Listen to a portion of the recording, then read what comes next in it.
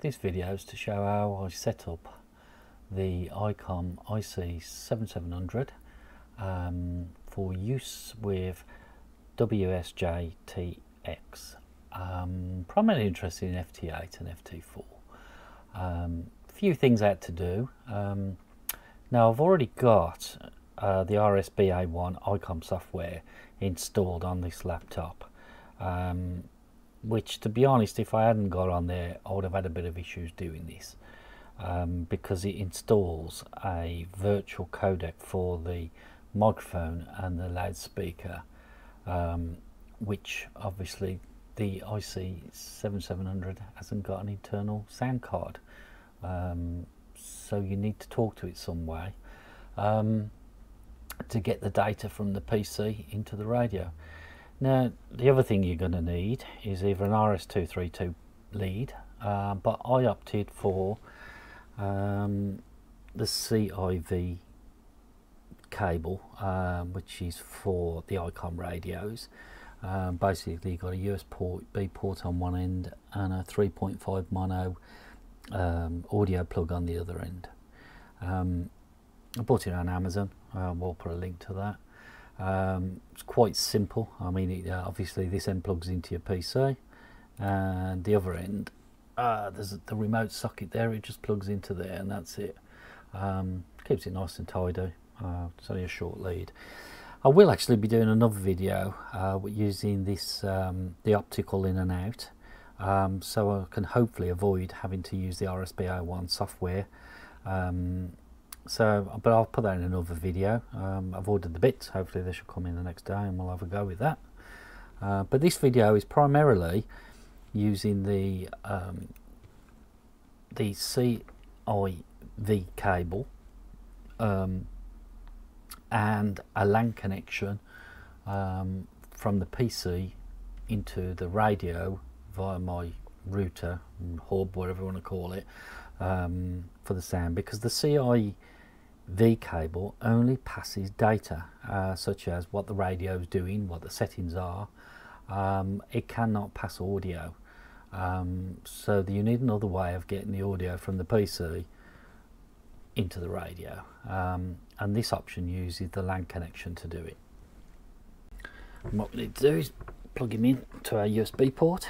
Uh, try and stick with the same USB port once you've set all this up because otherwise you have to keep changing stuff plug him in. Let's bring up device manager. And there he is there. It's come up as that one there. Prolific USB to serial COM port COM7 okay. So we know that's installed and working. Right. Let's minimize that. Uh, right first thing to do is run your ICOM remote utility. Um, make sure you're connected which we are.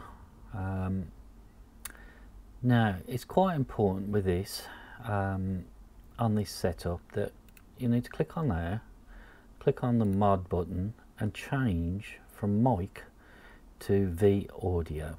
If you don't do that it ain't gonna work uh, because that's utilizing the ICOM uh, virtual audio driver. So let's close that and I can show you that. Um, down here where is if we click on the speaker icon we've got a choice of speakers communications headphones or the ICOM virtual audio driver. Select that as your primary um, and we're all good to go then. Um, because that will be your default. The rest of the program should notice that.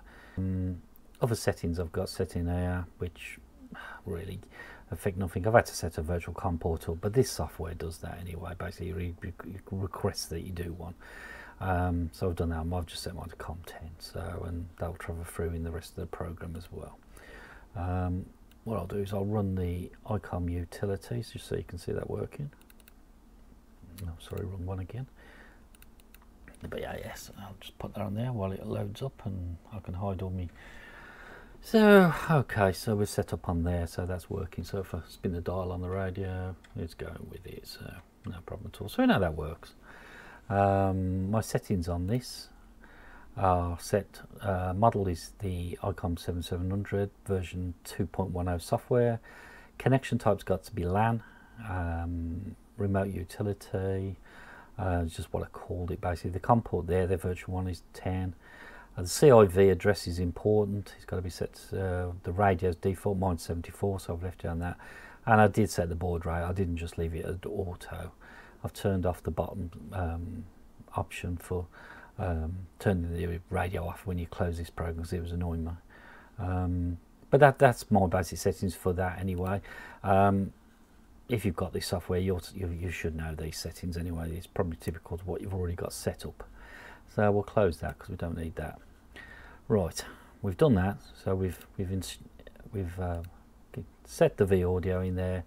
Next thing to do is really set up some settings now in the in the actual radio. Um, so let's do that. We'll minimise that.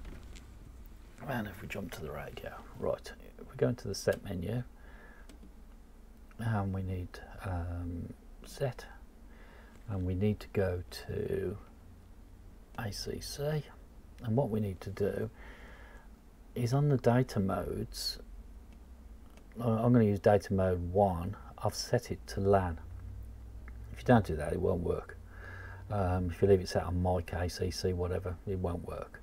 So I've set it to LAN. Um, I believe that's the only setting I need to do in there. Uh, let me just quickly check so you can see what other settings I've got. No, there's nothing else in there at all. Okay, so we'll come back out of that.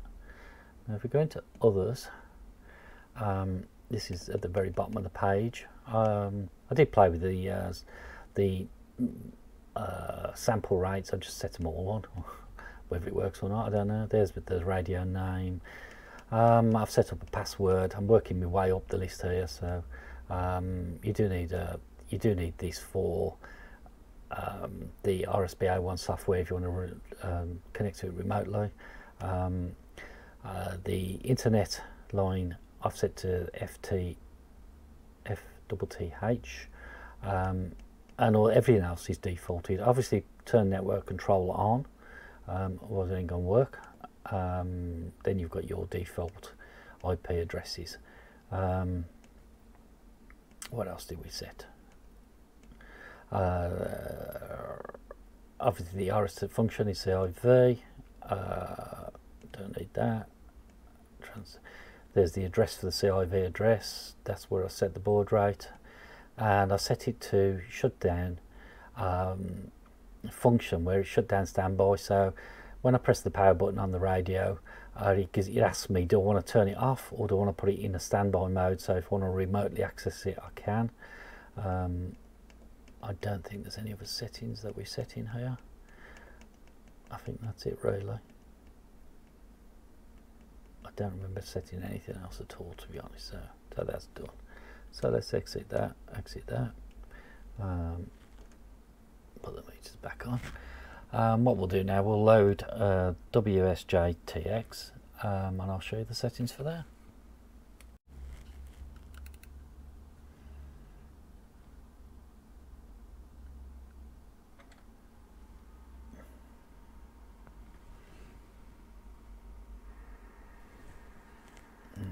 Let's set it. Right, is currently not set correctly, so let's set that for uh, 20 meters. And there you go.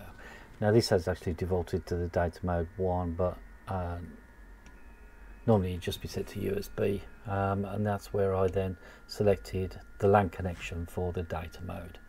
Um, and we're already picking up stuff up on here now, so but I'll show you the um, the configuration that I've got set up. So in my settings, um, the usual for the first page, um, call sign, location. Uh, these boxes are uh, obviously you can select what you want to tick on these. This is the default I've used. The radio settings, this is the important one. Um, now the cat control is from COM7, um, which I showed you when we uh, we plugged in the um, the CIV cable. Uh, set the baud rate to that Bit data bits I've set as default, stop bits default, handshaking default. Uh, PTT method has got to be cat, um, and then make sure your mode is set to data packet, and split operation put fake it. Um, you can then click on the button, do a quick test. If it goes green, it's all working. do a quick PT if you want. That's working fine, so no problem at all with that. Um, audio, if you remember from down here, I said the default as the Icom Virtual Audio driver, so that's what it's seen as. If you haven't done that, you'll, you'll find it in the pull down list and you can select it from there. Um, TX macro is not important, reporting, that's my settings for that. Uh, frequency is not important, I haven't changed anything in advanced, I don't believe I changed anything in that either. Um, so let's close that down. We'll have a good. Now, I do not profess to know how to use this program at all, really. Um, basically, what I do is I normally set it to CQ only, so I just see who's call, who's calling, um, and then when I see one, I'll give it a double click. Um, let's see what comes up. Uh, see if we can get a contact. Now, it's important that you also synchronize your PC um, with some kind of external um, atomic clock source, you know, that's so everybody's on the same par basically. Um, otherwise, you'll, you'll probably find that you'll be able to receive okay, but you just might not be able to send at the right time. Um, we'll try that one there. So double click that. Radio's gone into transmit. Um, and now we're sending out a little packet. Um, hopefully they'll respond back to it. We'll see in a minute. Um, it's not always the most successful thing this, but um, we'll try.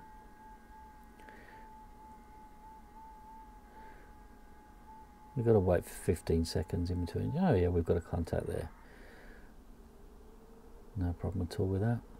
So if you look over here, it's gone pink. So now we're just dropping down this list of the uh, generated standard messages that we're sending back.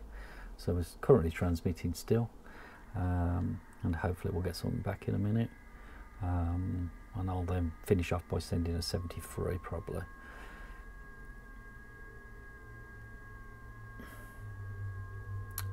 There we go. There's my final message and there's the log for it. So um, say OK to that and stick that one in the log. And that was an OH3BY.